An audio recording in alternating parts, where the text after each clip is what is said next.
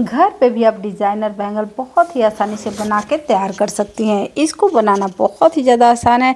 इसे मैंने waste bangle से बनाया है। जो चूड़ियाँ बेकार हो जाती हैं, पुरानी हो जाती हैं तो उन्हें हम फेंक देते हैं।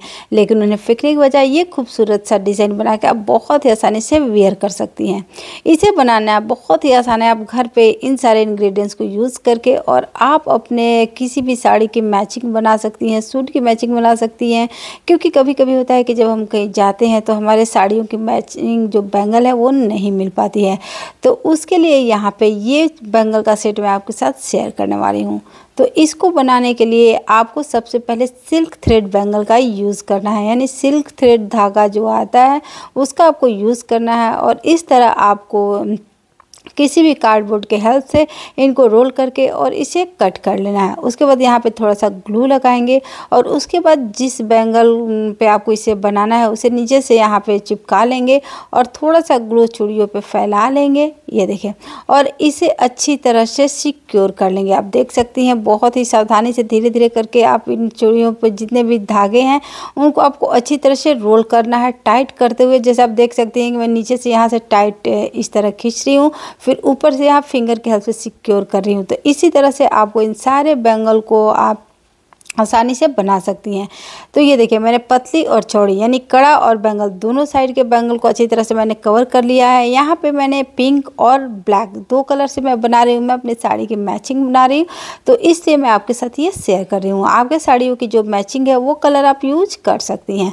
उसके बाद देखिए, यहाँ पे हम ग्लू लगाएँगे और यहाँ पे ग्लू लगाने के बाद आपको यहाँ पे स्टोन चिपकाना है। तो यहाँ पे मैं पर्ल वाइट कलर के यूज़ कर रही हूँ और उसके बाद यहाँ पे देखिए, मैं बोल चेन जो होते हैं, हर कलर के आ जाते हैं। चाहे आप गोल्डन कलर के लिए ग्रीन ले या ब्लू ले वाइट ले तो हर कलर के मिल जाते हैं। तो यहाँ पर जो मेरे साड़ियों में जो भी कलर यूज़ हुए हैं तो वो सारे कलर मैं यहाँ पर लगा के इन सभी को बना रही हूँ। तो यहाँ पर देखिए, मैंने पहले ग्रीन कलर के लगाए हैं यहाँ पे बोल चेन, उसके बाद मैंने वाइट कलर के लगाए हैं और उसके बाद मैंने जो डायमंड स्टोन होते हैं, उनको मैं लगा रही हूँ। तो इस तरह से सिर्फ़ आपको गोल गोल बना लेना है। ये आपको बहुत ही आसानी से मिल जाएगा। अगर आप चाहें तो स्टेशनरी की दुकान पे भी आपको ये सारी चीज़ें मिल जाती हैं और नहीं तो अगर अगल बगल की दुकानें हो तो उस पर भी मिल जाती हैं, नहीं तो ऑनलाइन आप इन सारी चीज़ों को आसानी से मंगा सकती हैं।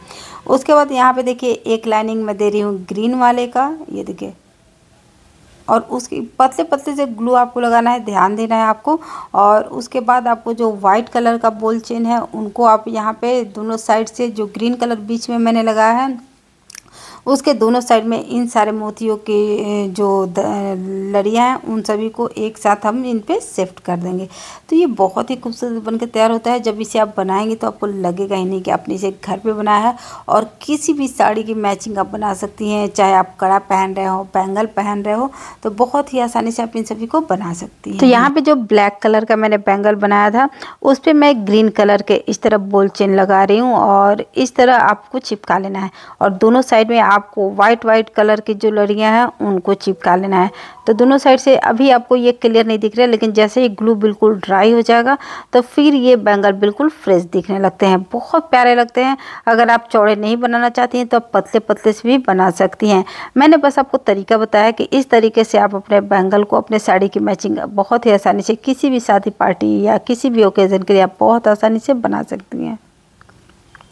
तो यहाँ देखिए इन सभी को मैंने बना के तैयार कर लिया है। उसके बाद जो मैंने पिंक कलर का बनाया है स्टार्टिंग में पतले वाले उनको भी सेम इसी तरह से एक ब्लैक कलर का धागा जिस तरह हम कार्डबोर्ड के हेल्प से लेते हैं तो ट्वेंटी रोल आपको करने हैं और इस तरह धागा को आप देख सकते हैं किस तरह मैं, मैं यहाँ पे रोल करूँगी। पतले से धागे को रोल करके और अगर पिंक कलर वाले पे इस तरह हम इसका डिज़ाइन बनाते हैं तो इसका लुक बहुत ज़्यादा अच्छा आता है। ये देखिए, अगर आप ब्लू ले रही हैं तो उस पर आप ऑरेंज लीजिएगा या येलो लीजिएगा, ग्रीन पे भी येलो या वाइट लीजिएगा तो ये सारे कम्बिनेशन जो कलर के होते हैं, एकदम परफेक्ट होते हैं। तो यहाँ पे जब मैंने पिंक पे ब्लैक लगाया था तो मुझे ये बहुत लवली लग रहा था। आप देख सकते हैं, खुद कितना प्यारा लग रहा है। तो इसी तरह आप अपने जो भी साड़ी पे आपकी मैचिंग हो, उसके अकॉर्डिंग आप अपना इस तरह से डिज़ाइन बना सकती हैं। बहुत आसान तरीके से ये बन जाएगा और अपने पसंद के अनुसार डिज़ाइन भी डाल सकती हैं। तो यहाँ पे बीच में देखिए थोड़े से जो जगह बच गए थे। यहाँ पे हम स्टोन जो है उनको चिपका लेंगे क्योंकि ये थोड़े अच्छे लगेंगे। आप यहाँ पे चिपकाएँगे तो तो जो बीच बीच में था, ये देखिए, चारों तरफ़ से बहुत ही प्यारा लग रहा है। और अब यहाँ पे मैं थोड़ा सा डिज़ाइन और दूँगी जो मैंने बीच बीच में धागे लगाए हैं। तो ग्रीन कलर का बोल चेन मैंने लिया है। इसको बाउल चेन बोलते हैं और ग्रीन कलर के दो तरह के आते हैं। इसमें एक थोड़े से मोटे, थोड़े से पतले तो मैं जो बारीक वाला चेन होता है, वो मैं यूज़ कर रही हूँ।